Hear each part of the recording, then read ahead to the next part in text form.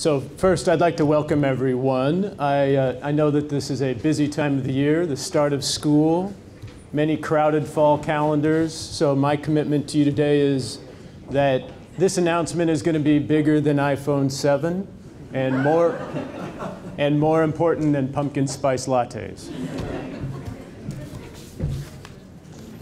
So good afternoon and welcome everyone. Thank you for joining us today and welcome to the release of Metro Connects. We're eager to share the details of this final version of our long-range plan that so many of you helped create.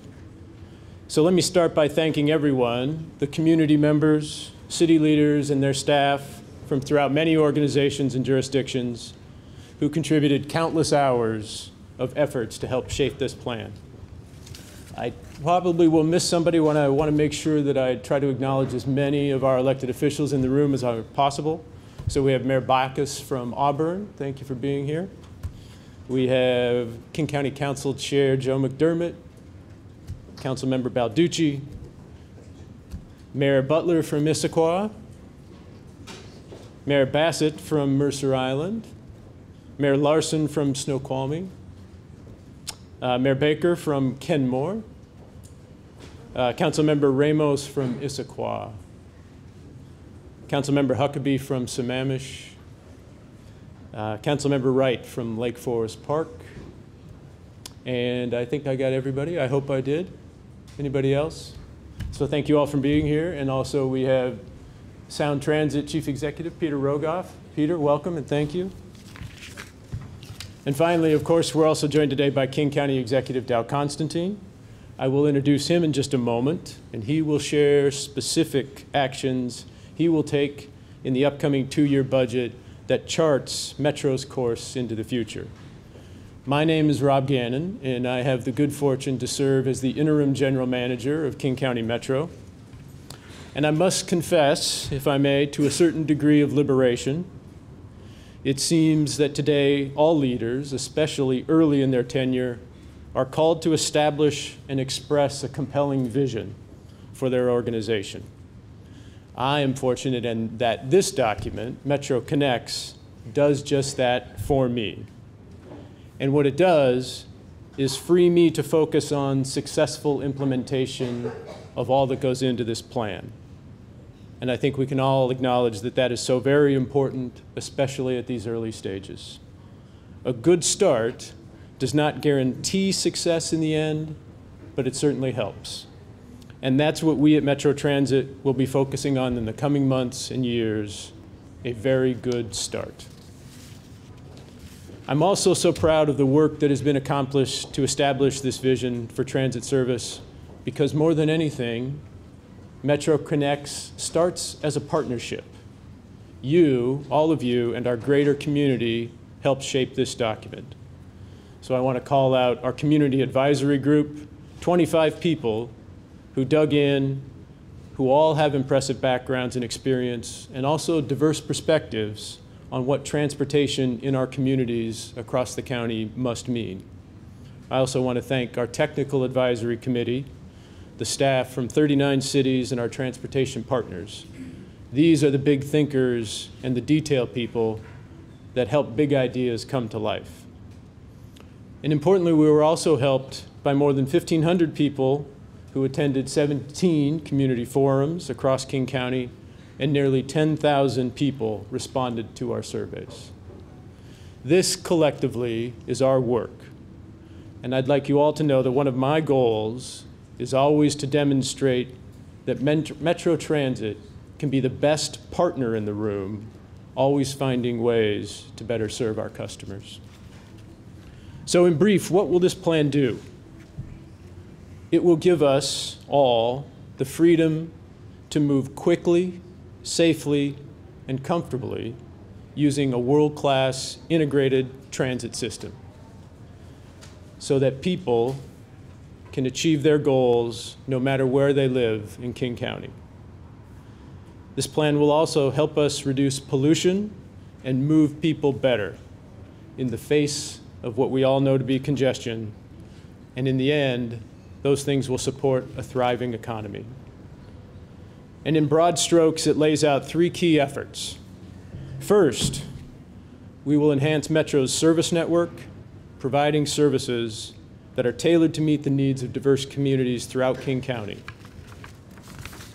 Second, it identifies all of the necessary capital investments we need to make our transit system work better than it does today. And third, it establishes the teamwork that is so necessary with our cities and jurisdictions to accomplish this plan because we all know that transit is an integral component to helping cities achieve their growth plans. So now let me turn things over to King County Executive Dow Constantine. He will share the first steps needed so we can begin as a region to accomplish this vision of more service, more choices, and one easy to use system. And in turn, that will allow Metro to move more riders quickly, safely, and comfortably.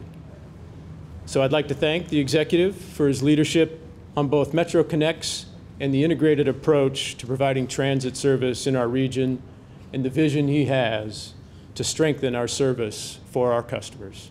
Please welcome King County Executive Dow Constantine. Thank you, Thank you, Rob. And thanks to all of you for being here today. I particularly want to thank all the members of the committees for helping us shape our transit long range plan and for joining us here today for its launch. Uh, Rob just spelled out a, a, a compelling vision for regional mobility. Uh, it's what I asked Metro to do a few years ago. Some of you may not know I have a planning background. Uh, I studied planning in college as a way to get some daily relief from law school, and uh, and it's come in very handy in my job. So one of the first things I asked when I became executive, I asked of Metro, what are we going to do? What do you plan to do to accommodate one million people and nearly as many new jobs over the course of the next 25 or 30 years?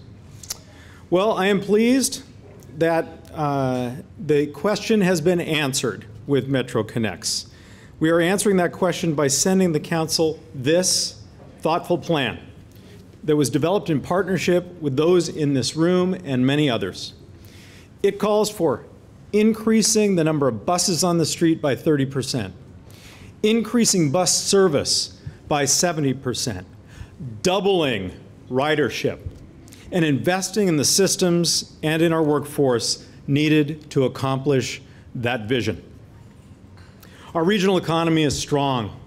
I don't have to tell anybody here that. You can see it around you every day. This region has the means to be able to provide the kind of mobility people want and need. And right now we have the funds to improve service and begin making the investments in the long-range vision of Metro Connects. Our regional economy is one factor, but it's also the hard work of our employees at Metro who have found better ways, more efficient ways to deliver service day in and day out. And I want to make sure that we constantly acknowledge their role in continuously improving our operations. Here's the thing about this economy and this investment. Just putting more buses on the streets that by itself is not going to get the job done. It is going to take a thorough, major shift in our approach. So think about this. The last major infrastructure investments for our bus system took place in maybe the early 1990s, a, a couple decades or more ago. Uh, that's when we built the downtown bus tunnel when we opened the bus base near Shoreline.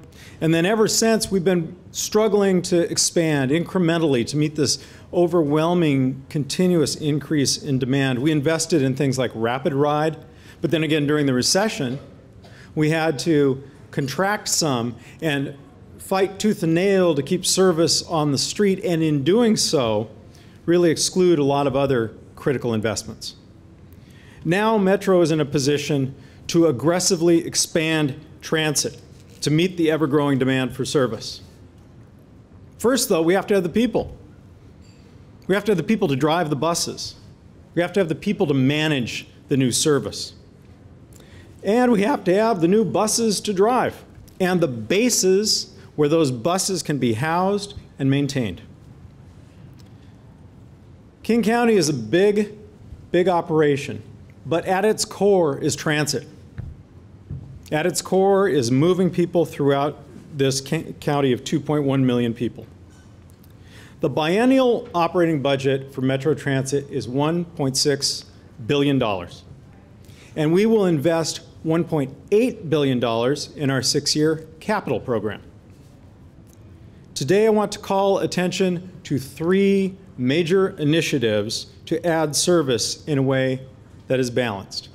So, this is when I get to step from the world of the planners, who rarely get to participate in actually making their plans come to life, into the role of the county executive, who's lucky enough to be able to do that.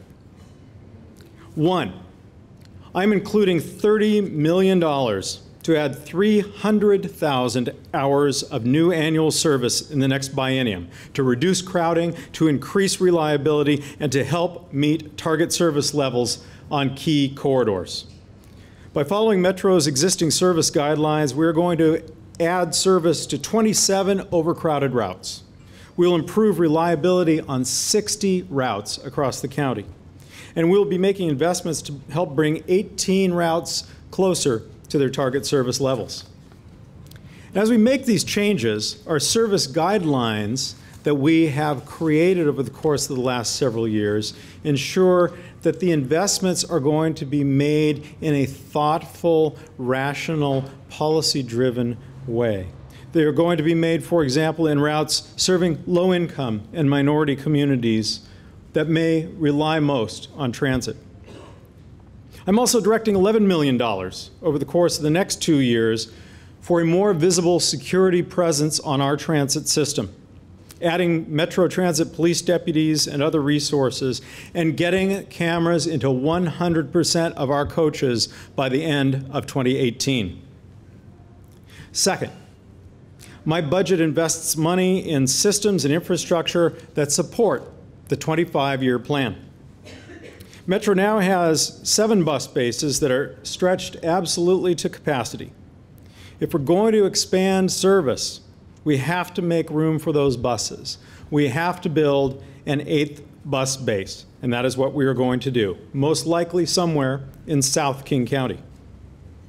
We will invest $215 million over the next six, six, years to add base capacity for buses. Metro is already struggling to hire and train enough operators to drive its existing schedule, and in the face of a competitive job market, that gets tougher every day. We have a growing number of retirements as well. Folks have been with us a long time. And there's movement within the workforce. The organization must not only hire operators, but also trainers and supervisors, maintenance crew, and other management and support staff. All of that is needed to make service work, to ensure the greatest possible level of safety and efficiency in our transit system. Third, my budget proposal also includes a 10 year capital investment plan that will put Metro in a position to begin to implement the vision of Metro Connects and build a transit system that truly meets the needs of our growing community. So, as we sat down to draft Metro's budget, we could have thrown all of our dollars into putting service on the streets right now, including the one time dollars that we're getting from sales tax from this construction boom you're seeing all around us. A big part of the bump in sales tax in these few years is from all of these cranes you see in Seattle and Bellevue and all around King County. But supporting the expansion of service requires planning. It requires mobilization, acquisition, and construction that is not readily visible to the public the way that a bus is. But look at what Amazon did during the dot com recession. Rather than focusing on short term profits, Amazon opted for the long game, the long term approach, which strengthened the company to endure the subsequent Great Recession. They devoted time and money to expanding their back-end programming on big data servers, build up their web interface and customer services, and to developing a vast distribution infrastructure to speed delivery to customers. The short-term profits weren't there, and I have no doubt that a lot of investors grumbled about that at the time. But Amazon emerged from that recession as the highest performing online sales platform anywhere, not to mention a major consumer of transit in our county. I envision Metro building the transit equivalent, a system that by 2040 doubles transit ridership in King County to more than 1 million boardings a day, brings frequent service to within a half mile of 73% of the people of King County. Can you imagine nearly three quarters of us being able to easily walk to the nearest bus and get wherever we need to go in this county? And a system that offers better access to opportunity for everyone. Our workers, the people of King County, our small business owners, everyone who depends on us creating mobility for a region that is growing and shows no sign of stopping. That's my vision for Metro. And with my biennial budget, we will take important steps to make that happen. Now, everything we have achieved over the last six and a half years since I became executive has been done in partnership. And we have a lot of great partners here today, many of whom have been named, many of whom have not. I want to introduce one very important partner right now. She has been a critical voice in the region's transportation planning. She truly understands how transportation systems impact our quality of life. And she is helping lead us forward on a comprehensive transit solution for South King County, including commuter rail and bus service and cooperation between the county and cities and tribes. She is one of the visionaries who is going to help shape the next generation of transit service in this region. Please welcome Auburn Mayor Nancy Backus.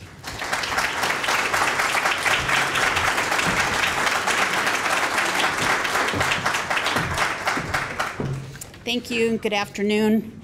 It's often difficult to follow a dynamic visionary leader such as Executive Constantine, but today I'm honored to do so because, as he mentioned, transit is so important to our region. It's become more and more important to the success of our local economies and addressing the growth.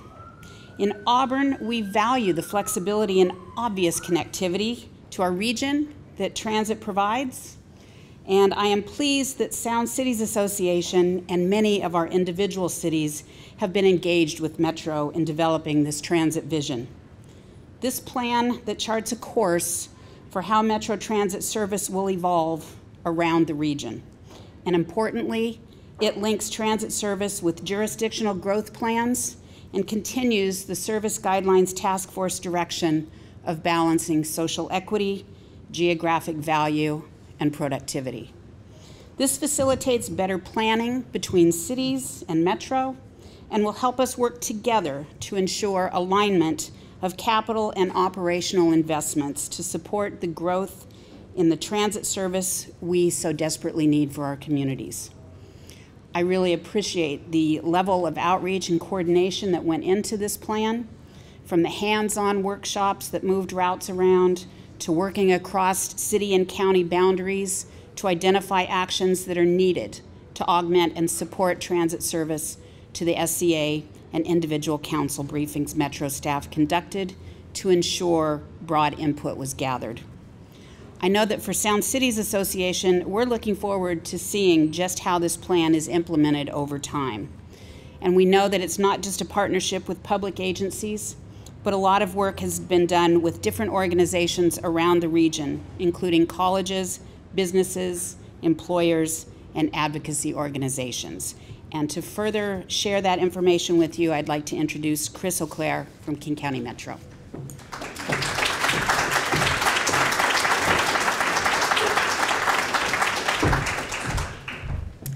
Thank you, Mayor Backus. Um, once again, I'm Chris O'Claire from King County Metro. I'm the manager of strategy and performance, and I've had the pleasure of leading a really dynamic team at King County Metro. But before we dive into that, I want to take a second and um, welcome a few other leaders up to the stage. First, I'd like to bring up Council Chair and fellow C Line rider with me, um, Council Chair Joe McDermott.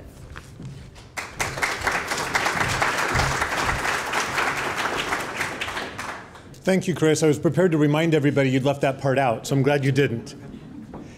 In our rapidly changing and growing region, um, a vision for a world-class transit system that gives more frequent, reliable, and fast service all day, every day, no matter where you want to go in King County, is more important than ever.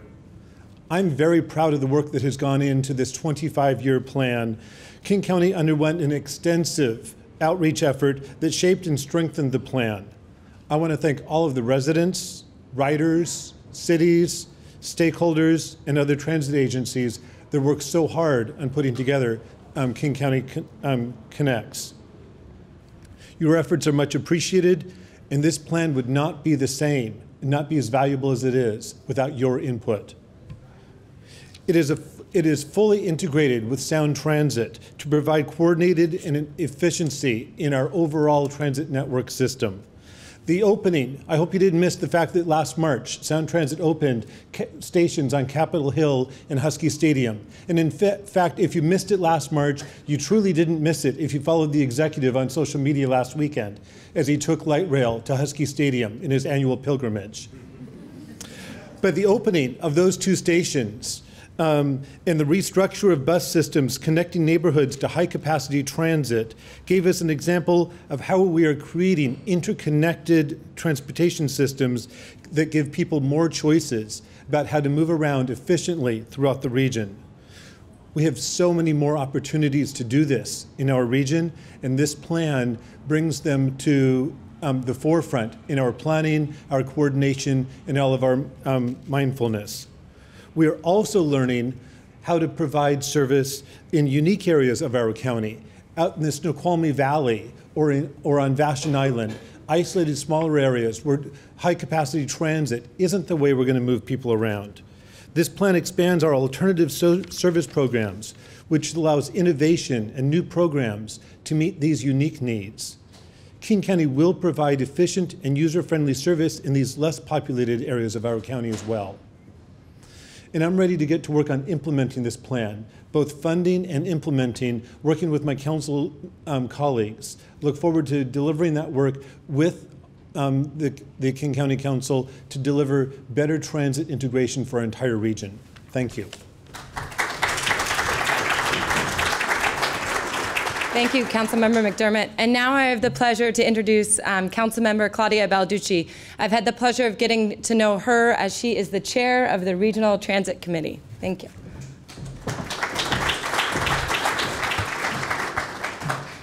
Thank you. Uh, one of the reasons that I'm excited about this plan is the same reason that I got involved almost oh 15 years ago now advocating for better transit. And it's just because there is so much demand. Uh, today we are seeing record ridership on our sound transit light rail system we are seeing record ridership on our metro bus system we have always by the way been the van pool capital of the world uh, we have more riders not just per capita but more riders than anywhere else distant second is los angeles and all I hear as an elected official with all that is, I need more service. The buses are standing room only in the mornings and the afternoons. When I, when I commute here from my district in the east side, it is absolutely crush loads on our buses because so many people want to ride the system to get around. And that's today. That's before we have a million more people living here within the next 25 years or so. So Metro Connects is a really important and vital next step in setting the vision for how we are going to serve all of that demand that we have today that's unmet and the demand that we have coming in the future. Uh, with the build out of our light rail system and with Metro Connects, as you heard, almost 75% of the people in King County will have easy access to frequent service. And frequent service means no schedules, not a lot of need to plan in advance. You just leave your house and you can easily get on a, a bus or a train that is coming very soon uh, without having to do a lot to, to get ready for it. It makes it easier for people to use transit as a way of getting around all the time to all the places they need to go. Um, this is what people have been asking for in my district. This is what people have been asking for throughout King County. And I am absolutely delighted at the Regional Transit Committee to be working with my colleagues from the cities to have our final, you know, say and edits uh, to get it to be exactly what it needs to be. And then we can adopt it at the council and get to implementing, as, uh, as my colleague Joe McDermott said. Thank you very much. Thank you, Council Member. And then um, it is also important for us to introduce um, one of our trusted advocates, um, Shefali Ranganathan, and all the work that she's done as the executive director as Transportation Choices Coalition. They will be essential as we need their help in implementing this vision. Thank you, Chris. Um, I am so pleased to be here today to mark the launch of uh, Metro Connects Transportation Choices, along with bicycle, pedestrian, and social justice organizations, worked uh, long and hard with Metro to, to help develop this plan. Um, as a transit rider who is a Metro bus rider for nearly 10 years that I've lived here, I can tell you transit gets me where I need to go on time to work, to, to get my kid to school. And I am so excited to see the development of this plan in the future for Metro, in the, for the region. This plan is extensive and it's ambitious, and it is the first step to creating a frequent and reliable transit network for King County. We know that trans transportation agencies are working together to coordinate and collaborate to create an integrated network. I can testify with the, that. I work with all of you all the time. Uh, and coordinating these plans will make sure that the county is truly connected with real transportation choices. Uh, like many of you, uh, we rolled our sleeves up to make sure that this plan represents the needs of the county to make sure that people who are transit dependent can get to work and to opportunities all around the county, and also to make sure that this represents not just the system for today, but the system that our growing region needs. Uh, more importantly, we look forward to working with you, Chris, and others to make this plan a reality and uh, I'm going to hand it back over to Chris to talk more about the plan. Thanks so much, Shefali. And now I'd like to welcome two Metro staff members to come up. Um, we've talked a lot about the vision, but it's time to say a special thanks to two groups, our Community Advisory Group and our Technical Advisory Committee. So Tristan Cook and Stephen Hunt, could you come on up?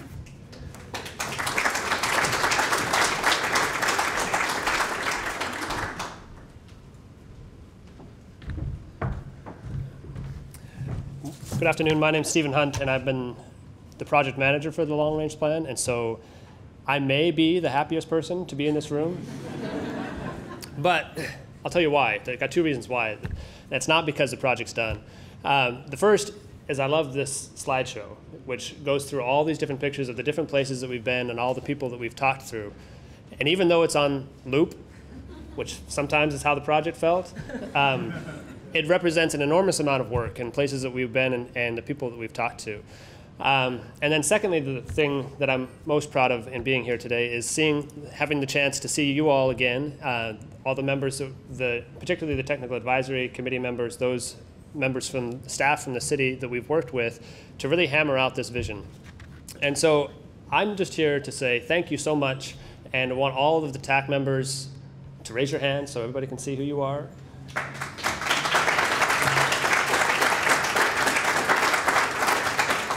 And say that we look forward to continuing that relationship over the next many years to, to realize this plan. And so as you leave today, we have a certificate for all of the TAC members. Please pick one up as a token of our appreciation for all the work that you put into it. So thank you very much. Just we were also fortunate to have an engaged group of community members who served on the community advisory group.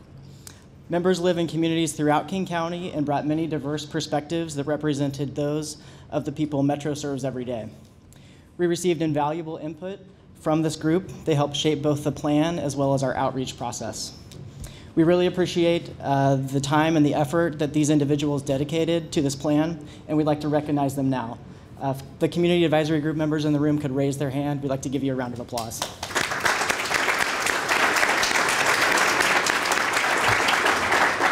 And we also have a certificate for you as well, and there are water bottles as well for, for you guys. So thank you.